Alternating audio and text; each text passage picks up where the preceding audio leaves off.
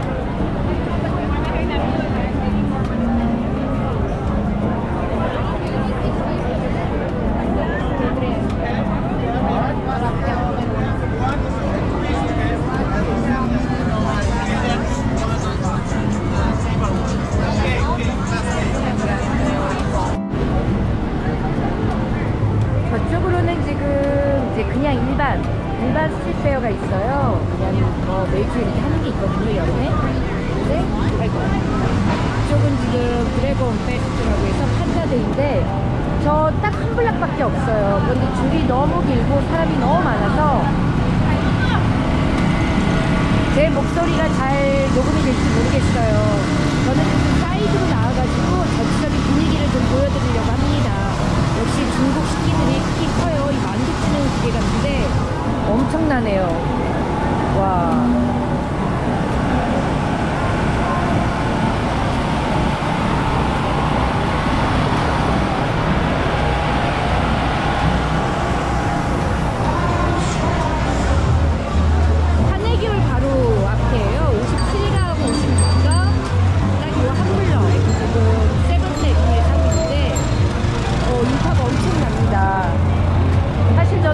생각하면서 왔는데 사실 뭐 판다에 관련된 건 그닥 없어요. 그냥 상술인 것 같습니다. 뭐 보니까 부채도 손에 들고 있고 한데 뭘 나눠주는 줄인 것 같아요. 바로 이 초리 쪽은. 그래서 아까 사람들이 엄청 많았던 것 같아요.